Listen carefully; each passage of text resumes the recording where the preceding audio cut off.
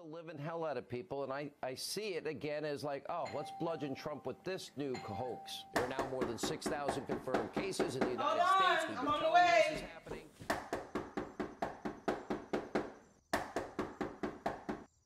Will likely rise seemingly and dramatically. Dang, I said I'm on the way.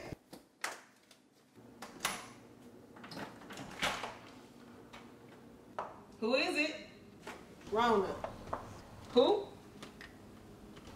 Rona. Ronnie. Rona. Kiki! You know somebody named Ronnie?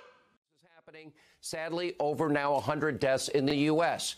Now, those numbers, as I've been saying, will likely rise seemingly and dramatically in the next days and weeks. Kiki! You know somebody named Ronnie? Who? Ronnie!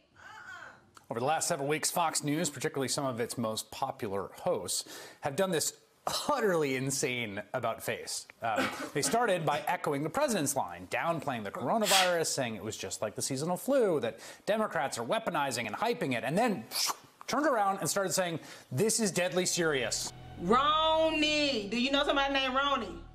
They out here at the door talking about they were looking for you. Rona, R O N A.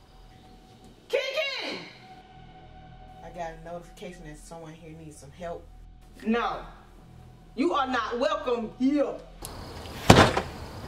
Public Health Institute, who appeared on Fox News recently, whether he believes people. Yes, he said. Some commentators in the right wing media spread a very specific. Very harmful.